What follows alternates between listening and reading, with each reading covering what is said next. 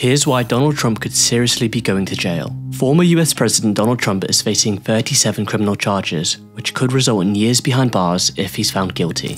Trump failed to return important presidential records and documents after leaving office, leading to an FBI search of his Mar-a-Lago property in August 2022.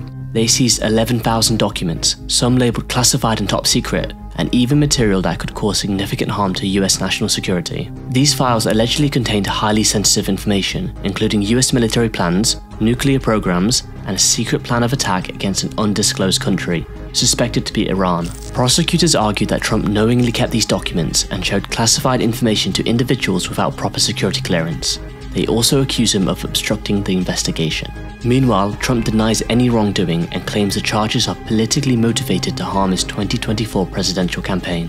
But legal experts are warning that the evidence against Trump is substantial, which includes videos, recorded conversations, and testimonies from employees. If convicted, each of the 37 charges carries the potential for years or even decades of imprisonment. And whilst facing criminal charges does not prevent someone from running for office, Trump's situation is highly damaging to his presidential campaign.